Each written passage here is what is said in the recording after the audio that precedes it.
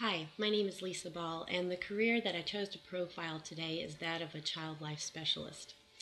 Specialists provide psychosocial support to children and families in the healthcare setting.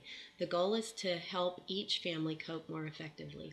Some of the responsibilities that I found that a child life specialist would have to take care of include understanding a new diagnosis, preparing their children for health care, visits, addressing their concerns and worries over the children's health and outcomes, planning hospital stays and procedures and surgeries, making informed medical decisions that respect the family's values as well, identify non pharmaceutical pain medication techniques,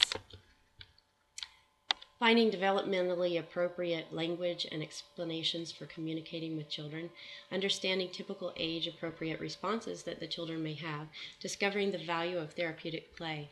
Um, sometimes you may help the patients and their siblings by guiding them as they process the emotions that they're experiencing um, help them regain the sense of control that they've lost, offering expressive therapeutic outlets like art, music, and story time, using dolls and pictures to engage in therapeutic child directly, directed play with them, connecting patients and siblings with emotional support through peers and community groups, and also preparing siblings for visiting their brother or sister in the hospital. The education that I found that this position requires is that of a bachelor's degree and between four to 600 internship hours, depending on the job requirement. An emphasis on human growth and development is preferred, but not always typically required, could be required by the employer.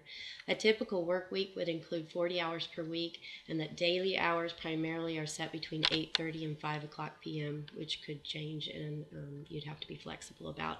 The expected salary for this position is entry level 36000 per year base salary and the total compensation, which includes Social Security, 401k, disability, health care, pension, and vacation time, could reach approximately $66,000 annually.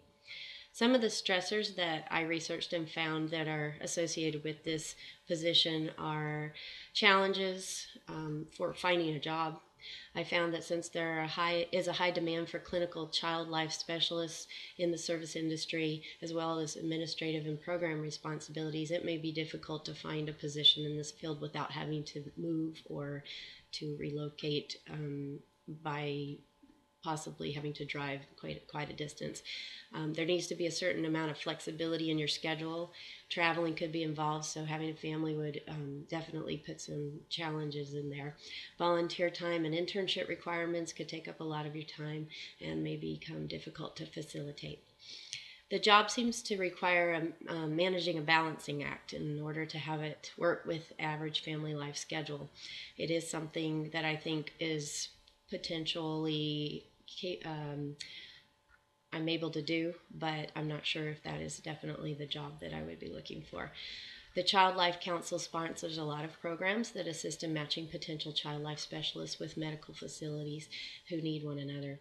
They offer a wealth of information on their website, which is where I found most of my information, and the website is childlife.org. And that's about it for this profile. I appreciate you looking at my video today. Have a good day.